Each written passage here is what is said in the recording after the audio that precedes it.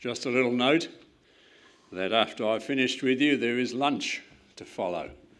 So, uh, anyone is welcome to come and join in uh, our lunch together. It's out there in the hall, and uh, we have a good lunch here, so please come and enjoy it. The parties were big in those days. When they threw a party, they threw a real party.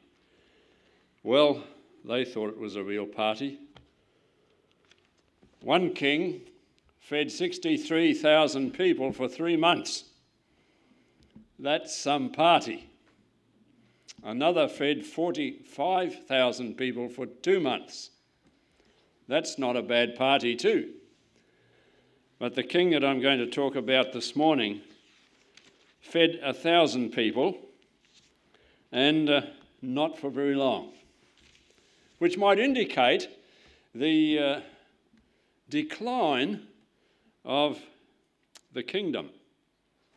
We'll read about it in Daniel chapter 5, and you've heard of this fellow before, I'm sure. Daniel chapter 5 says Belshazzar the king made a great feast to a thousand of his lords and drank wine before the thousand. Belshazzar, while he tasted the wine, commanded to bring the golden and silver vessels which his father Nebuchadnezzar had taken out of the temple which was in Jerusalem, that the king and his princes, his wives, and his concubines might drink therein, or therefrom, we would say today. Belshazzar was throwing a party. He could only muster a thousand. That doesn't seem much compared with some of the other kings of that era who, as I say, had 63, 45,000, uh, one 28,000, another one 34,000, and for various lengths of time. Belshazzar was small by comparison, but it was going to be a great party. He had his friends there, he had his women there, and uh, he had the wine there. And parties in those days went well as long as the wine held out. And like many parties today, when the alcohol runs out, the party's over. And uh, that was the sort of party that Belshazzar liked. So I've entitled a sermon today, How About Drinking from the Sacred Vessels? How about drinking from the sacred vessels? Belshazzar decided it would be a great opportunity to bring all of the gods of his knowledge, most of whom, of course, all of whom were really fictitious, but in his mind were real, to bring them into the, uh, uh, the party and uh, to have this great celebration. And one God that needed to be celebrated was the God of the Hebrews, who had been long forgotten in the kingdom since the time of Nebuchadnezzar the God of the Hebrews had been virtually forgotten. And so he brought out the golden and silver vessels which his father Nebuchadnezzar had taken out of the temple which was at Jerusalem. We have to realize the situation here. Belshazzar was actually the grandson, not by blood. Uh, well, I suppose. Um, yeah, there would have been some blood relation, I suppose. Um, Nebuchadnezzar's son um, was probably married to, sorry, Nebuchadnezzar's daughter was married to an Egyptian, and this Egyptian uh, and the daughter had uh, Belshazzar. So Belshazzar is really a grandson uh, of uh, Nabonidus, uh, of, of Nebuchadnezzar, the son of Nabonidus. And so that's not so material, except for the fact that it shows that there's one, two, three stages down the line and uh, Belshazzar has, uh, has taken over the throne of Nebuchadnezzar, who is mentioned frequently in Scripture and in other writings. Belshazzar is not. As far as we know today, there are only two references to Belshazzar outside of the Scripture in, in other writings and tablets that have been discovered, and it was thought that he didn't exist, but he, he clearly did exist, but he was no great significance and did nothing fantastic except that uh, he wanted at this time, at this party, to do something that would, in some way, perhaps have something to do with the God of the Hebrews, which uh, Nebuchadnezzar had a lot to do with, but uh, as you will see, he did it all in the wrong way. Verse 3 says, They brought the golden vessels that were taken out of the temple of the house of God, which is Jerusalem, and the king and the princes, his wives, and his concubines drank in them. They drank wine, and they praised the gods of gold, and of silver, of brass, of iron, and of wood, and of stone. This was a pure heathen uh, outfit. In the same hour came forth fingers of a man's hand and wrote over against the candlestick upon the plaster of the wall of the king's palace. And the king saw the part of the hand that wrote. And the king's countenance was changed, and his thoughts troubled him, so that the joints of his loins were loose, and he smote his uh, knees smote one against another. His knees knocked together in terror. For this was an omen. Such a thing in their thinking in those days was an omen. They uh, had all kinds of ideas in the Babylonian religion, and uh, one of them was that when something appeared ghostly, it was an omen not for good but for ill. And so he recognized this as an omen for ill, but he didn't understand what it was. He knew something bad was about to happen. It scared the wits out of him. The king cried aloud to bring in the astrologers and the Chaldeans and the soothsayers. These were all the uh, the fellows who could supposedly foretell the future and interpret dreams, and Nebuchadnezzar had to do with them many, many years before. And it was discovered that Daniel was the only one who was able to handle these kinds of dreams and these unusual occurrences and make sense of them. But uh, he promised them, in verse 7, latter part, to be clothed with scarlet and have a chain of gold about his neck, and that they should be the third ruler in the kingdom if they could interpret what the strange apparition was which wrote on the wall of the building in which they held the party. And they all came together in verse 8, but they couldn't read the reading.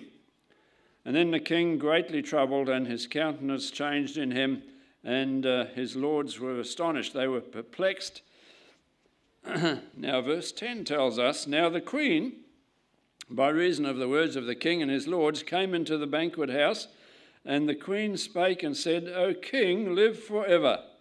Let not thy thoughts trouble thee, nor let thy countenance be changed. There is a man in the kingdom in whom the spirit of the holy God is the spirit of the holy gods, and in the days of thy father light and understanding and wisdom were found in him, whom the king Nebuchadnezzar, thy father, uh, made master of the magicians and the astrologers and the Chaldeans and the soothsayers. For as much as an excellent spirit and knowledge and understanding in interpreting of dreams and showing of hard sentences and dissolving of doubts were found in the same Daniel, whom the king named Belteshazzar, now let Daniel be called and he will show the interpretation.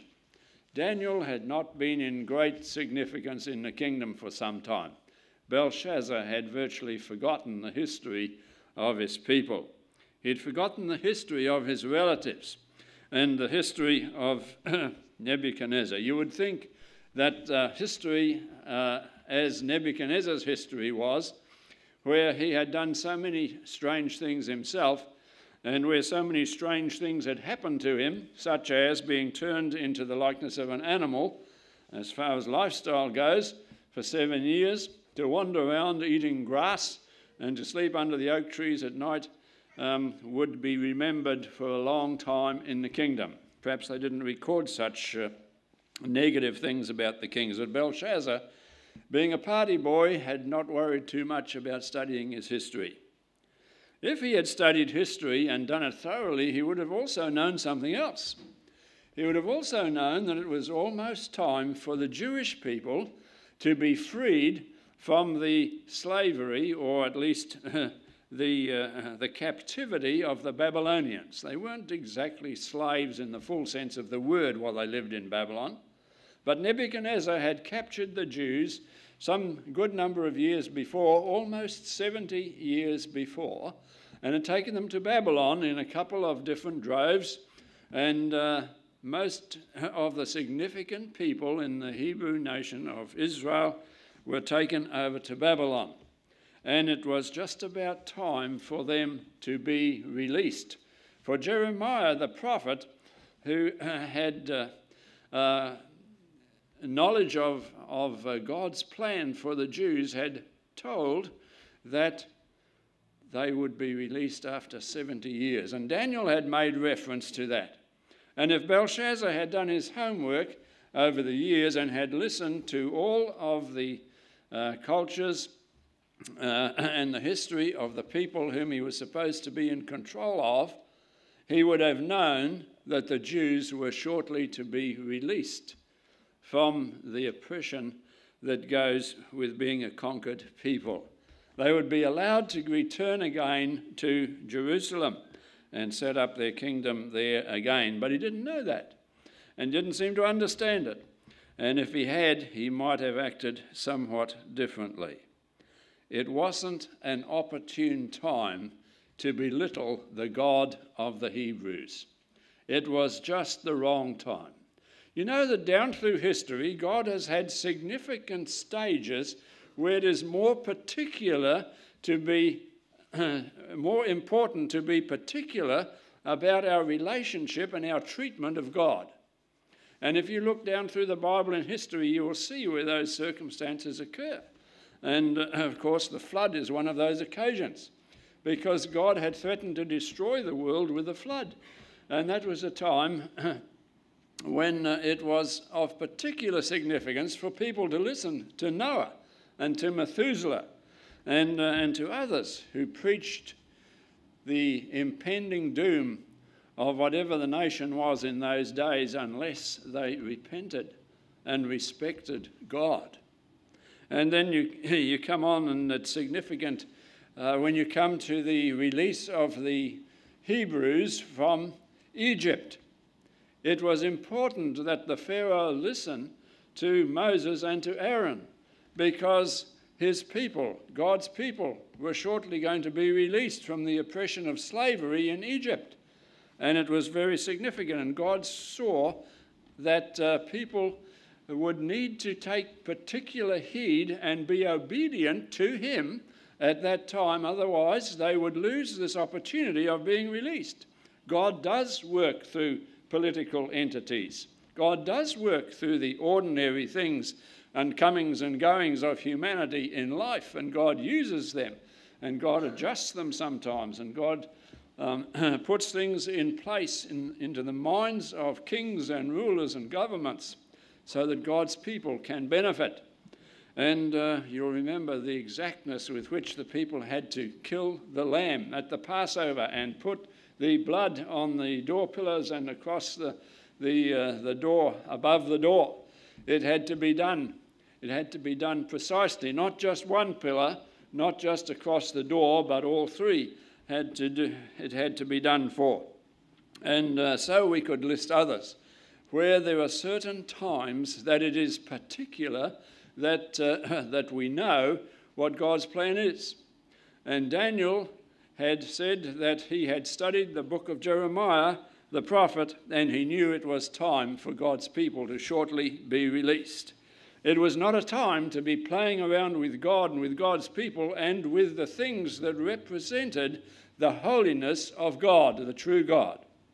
And these vessels from the temple were the vessels that represented aspects of the holiness of God.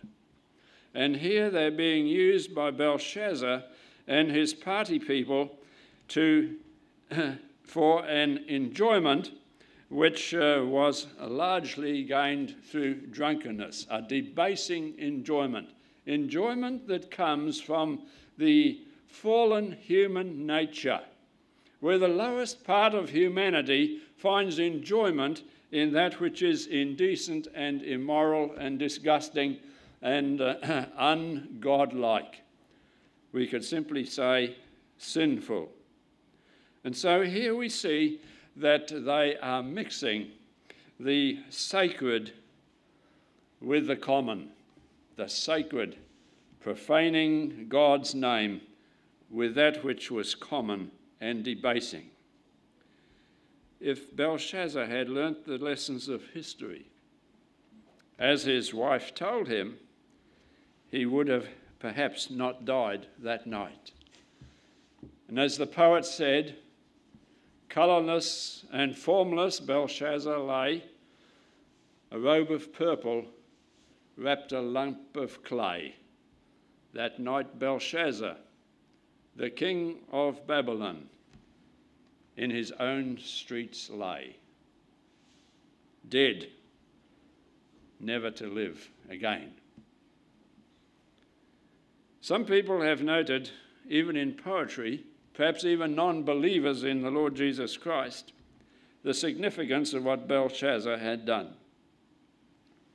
Verse 13 tells us that Daniel was brought in before the king. The king spake and told him the problem, and Daniel has a little word or two to say to the king. Verse 17 Then Daniel answered and said before the king, Don't worry about your gifts. I don't need a gold chain around my neck. I don't need some new clothes. I don't need to be the third ruler of the kingdom. He says, But thou, king, the Most High God gave Nebuchadnezzar thy father a kingdom and majesty and glory and honour. And for the majesty that he gave him, all people, nations, and languages trembled and feared before him. Whom he would slay, he slayed, and whom he would keep alive, he kept alive. And those he set up, uh, he did, and those he put down, he put down. But when his heart was lifted up and his mind hardened in pride, he was deposed from his kingly throne, and they took his glory from him. And he was driven from the sons of men, and his heart was made like the beasts, and his dwelling was with the wild asses. They fed him with grass like oxen, and his body was wet with the dew of, of heaven, till he knew that the Most High God ruled in the kingdom of men, and that he appointed over it whomsoever he will. And thou, his son, O Belshazzar, have not humbled thine heart, though you knew all this. You've lifted up yourself against the Lord of heaven. And so he goes on to explain to him where his sin lies. And uh, then he says, Then, 24, the part of the hand sent from him, and this writing was written. This is the writing that was written Mene, Mene, Tekel, Upharsin. And this is the interpretation of the thing. Mene, God hath numbered thy kingdom and finished it. Tekel, thou art weighed in the balance and art found wanting. And Peres, thy kingdom is divided and given to the Medes and the Persians. And Belshazzar understood what it all meant. Belshazzar knew that his kingdom was over.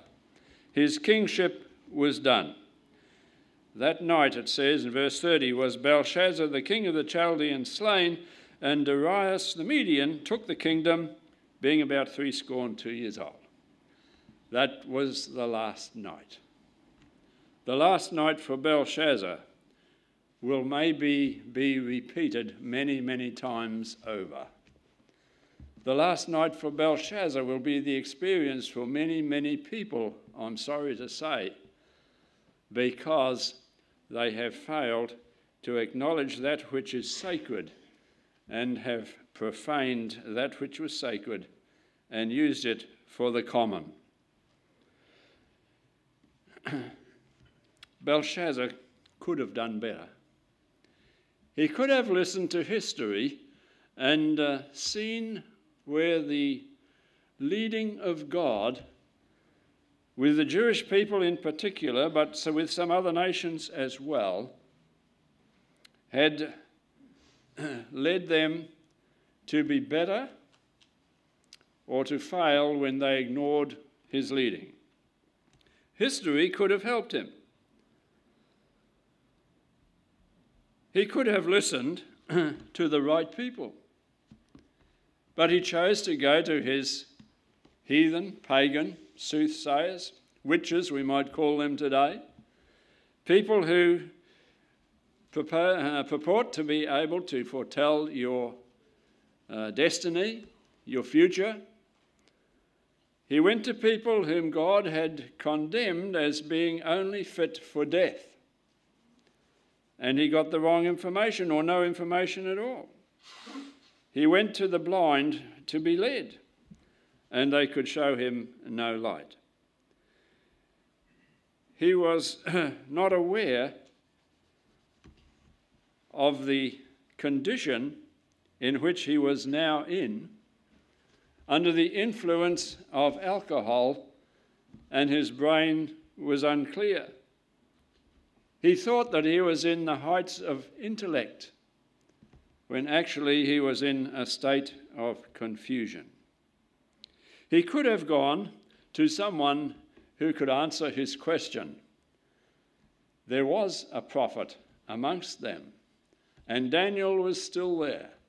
Daniel doesn't seem to feature a lot in the things of Babylon after the first few chapters recorded there. He seems to fade out of the scene and then he comes back in with the prophecies later and doesn't seem to feature much in the political scene as far as the story goes, but we do know that he must have had some influence.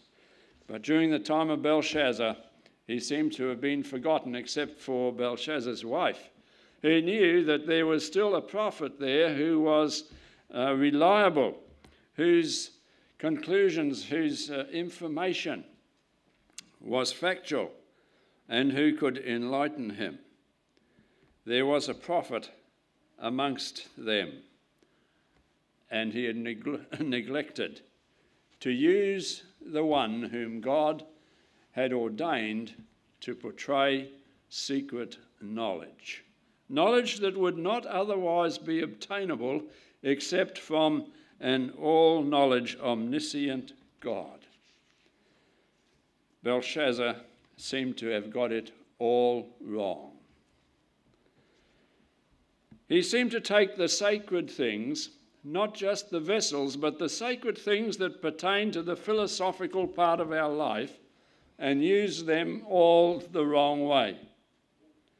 And that's really what I want to talk about more this morning is about how we use the sacred things that God gives us.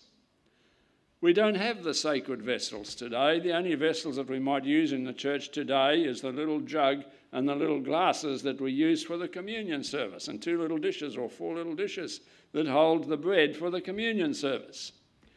We need to treat everything that is in God's house with respect because it belongs to God, it doesn't belong to us. But uh, that's not so significant as in this instance, where the, the uh, vessels of God's temple had a direct representation regarding God, the true God.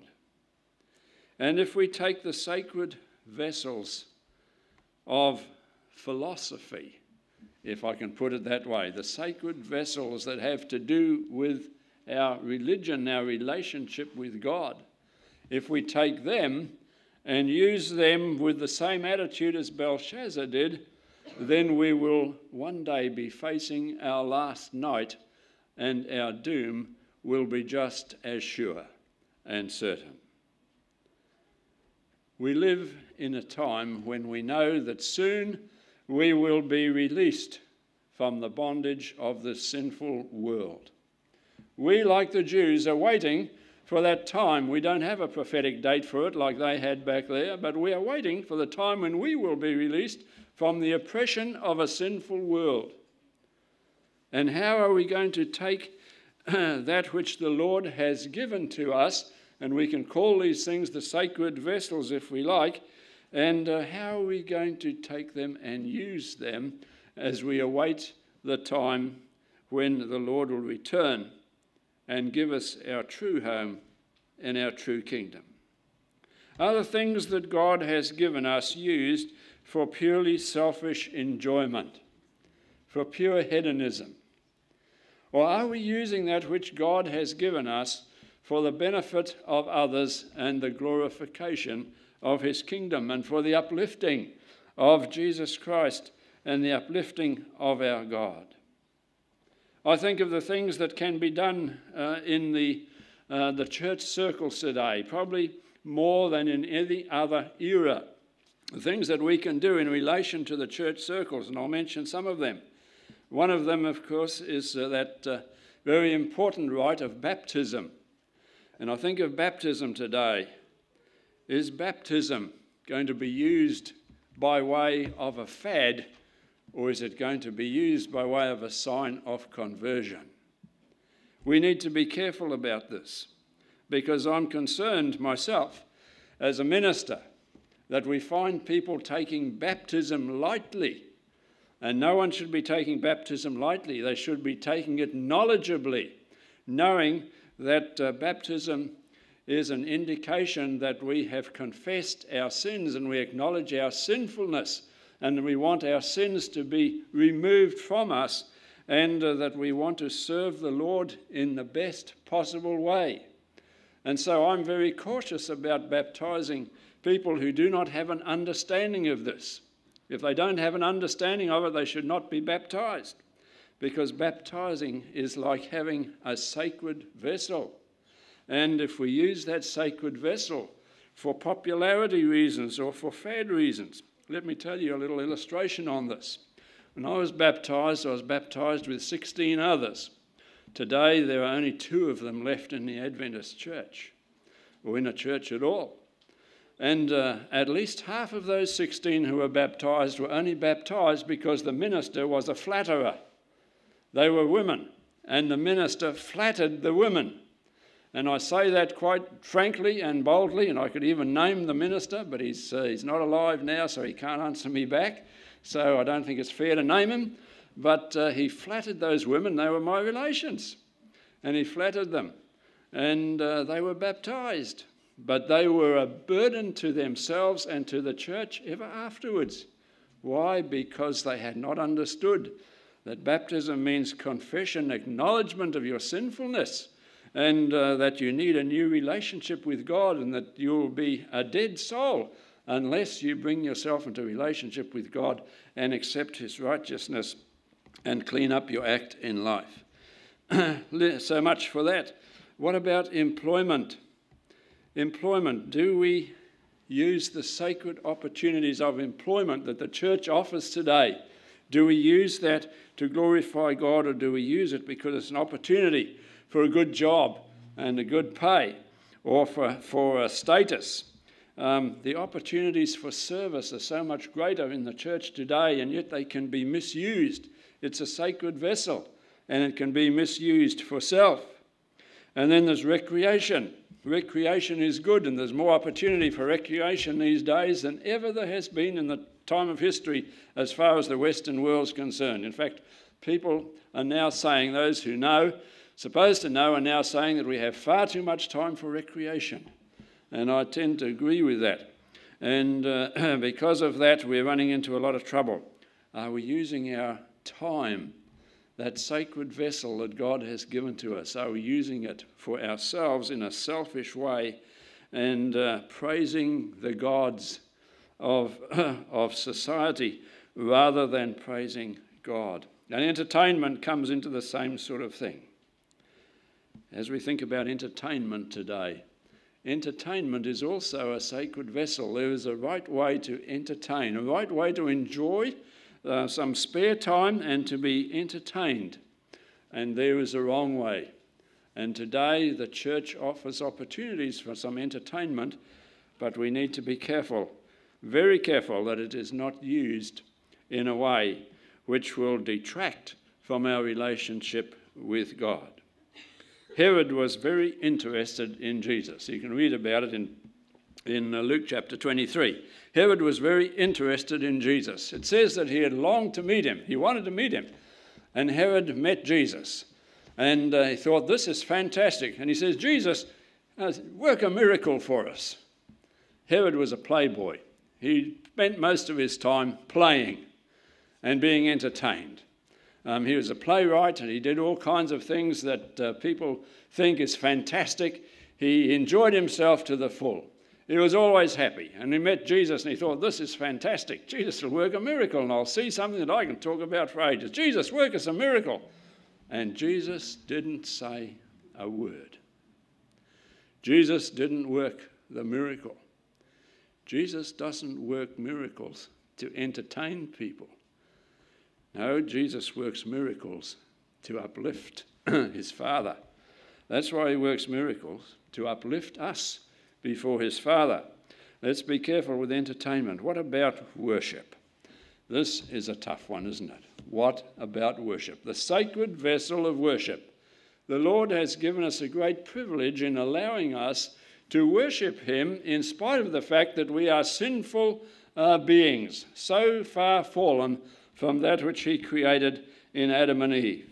And yet He allows us to worship Him. And He wants us to worship Him, He wants us to acknowledge Him. But do we take this sacred vessel sometimes and uh, we turn it into, a, or misuse it in a way that uh, gives no credit to God. I fear in the church today there is a severe, serious risk of us being careless in this regard. When we come to worship, we have the privilege of having a place of worship. But do we always treat it as a place of worship? Or does it sound more like a bazaar? I tend to think of something we could pull our socks up on a good deal. When we come into the church so often, and before we leave the church so often, you would think we had just been to an exciting auction sometimes. Is that true? It's true, isn't it? We need to be careful. It's a sacred vessel. Do we use it for sacred purposes?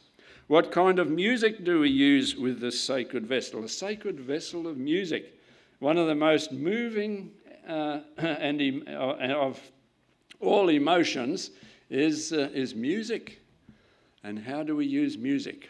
I tend to feel that so much music today is available to us and is heard even on so called Christian channels today that we get conditioned to hearing music that is more suited to the nightclub in its mode and uh, expression than is suited for the worship of God we need to be careful about this. What about our conversation? What about our conversation? What about punning the scriptures? You ever hear people make these little jokes about scripture? I've heard so many of them, and at times I've laughed about them because they are witty, and I've come to the conclusion that it is using a sacred vessel for a profan- uh, in, in a form of profanity. And uh, I've decided that I will not use them anymore.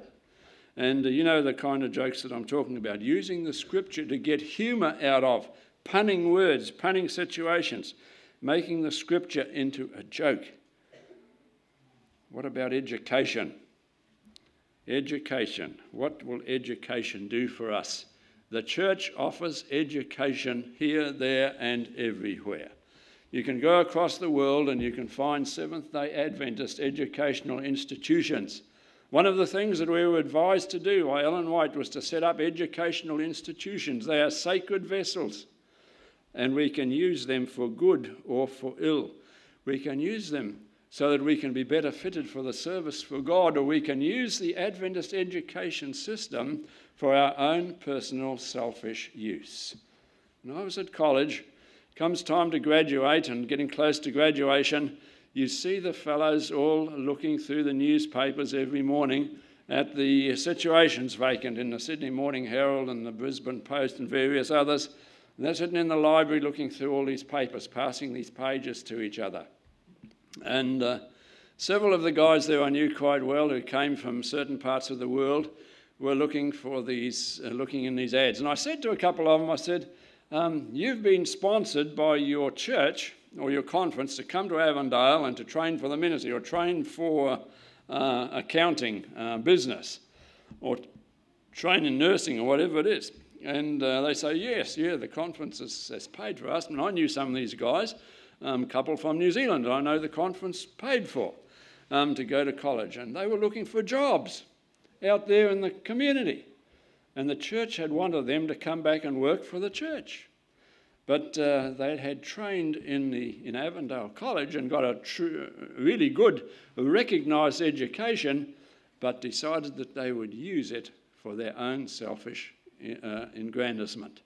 And many of these people didn't go back to their home countries and work there which had, who had paid for them, they went and got jobs out in the secular world.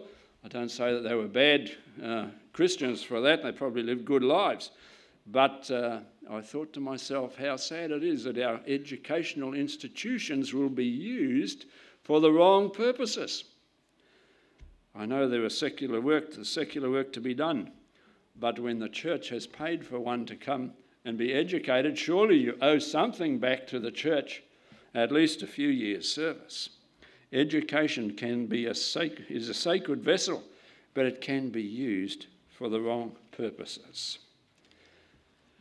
We're a people waiting to be released from this world of sin, a world of uh, confusion, a world of heartache, a world which is uh, so evidently influenced by the devil and his evil forces. We're a people waiting to be released, waiting for that prophetic moment, although the date is not set, that prophetic moment when Jesus returns and takes his people to be with him. We have the blessing of having a prophet amongst us. We have the blessing, the greatest blessing that the church has ever had down throughout history. The greatest blessing is that we have a complete scripture. We have a complete history of God's people and his dealing with them.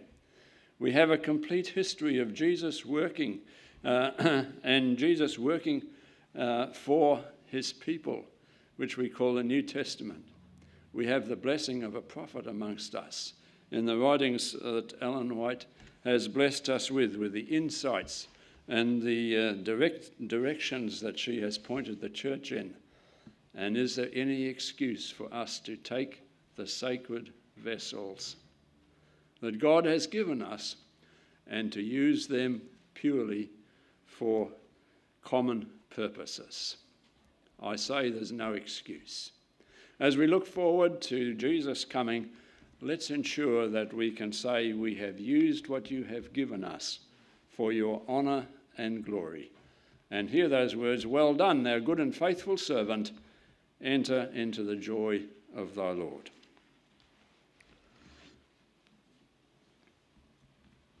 Let's close our service with the use of hymn it may be at morn, and uh, it has a number in the hymn book. I think it's uh, 207. 207 if you're using a, a hymn book. Our gracious Heavenly Father, we thank you that you have given us the opportunity of seeing what history has done, what history can tell us. We pray that we will learn from it. We pray that we will indeed be people who are safe to take to your kingdom when Jesus comes. And we know that that will be through your grace and you're working in our hearts and in our lives. Dismiss us today, we pray, with a desire to be uh, honest in our relationship with you and to trust in your salvation, for we are saved by your grace. We thank you for it and pray it, please, in Jesus' name. Amen. Thank you.